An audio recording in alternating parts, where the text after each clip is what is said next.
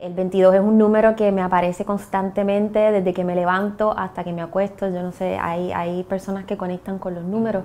Y de, no sé, hace como 10 años para acá, todo me pasa el 22. El 22 es como un día mágico para mí en el mes.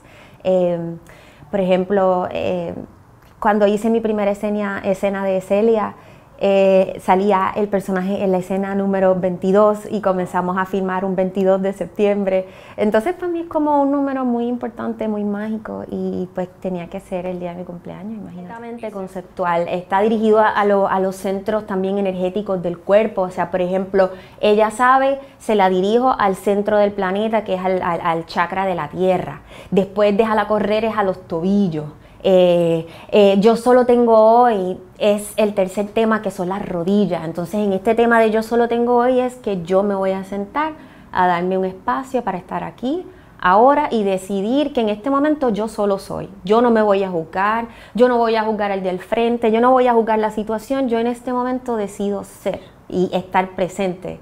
Entonces, cuando uno empieza a repetirse estas frases, a veces uno como que las empieza a incluir y cuando viene la situación, pues ya uno como que tiene una pequeña herramienta para trabajar. Y eso, eso es lo bonito que tiene este álbum.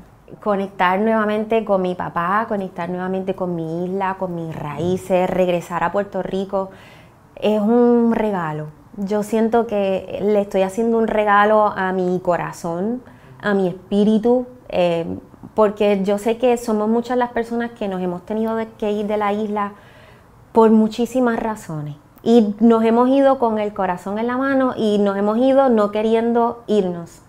Yo me fui hace 12, 13 años atrás porque yo quería explorar un mundo diferente y quería conocer lo que era estar fuera de mi isla.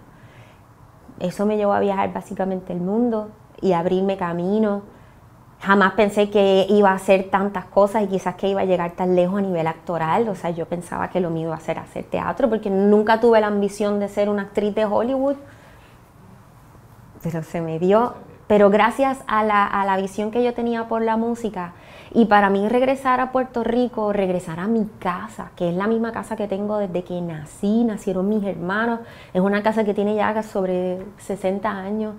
Y poder verme nuevamente en esas paredes eh, de niña, soñando con, lo que estoy viviendo, inclusive ahora mismo, en este momento aquí contigo, Jan, poder contarles esta experiencia, es como un sueño.